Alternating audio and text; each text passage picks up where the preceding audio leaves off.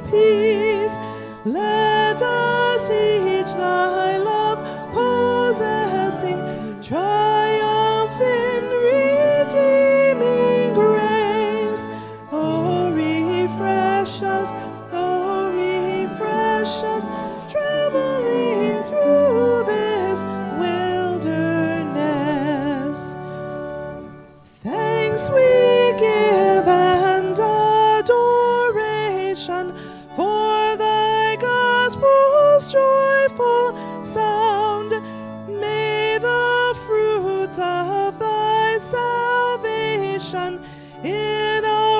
hearts and lives abound.